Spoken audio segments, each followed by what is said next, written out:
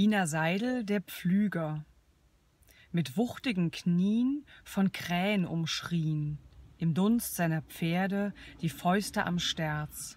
Samt Pflugschar und Rossen, selbst Boden entquollen, stampft er jetzt die Schollen und zwingt in die Erde sein reißendes Erz. Die Brache umbrechen heißt kräftelos sprechen. Die Erde braucht Hände zu lösen ihr Herz, Mann, Pflugschar und Rosse. Von Erde genommen, zur Erde gekommen, Gestalt aus Gelände im dampfenden März.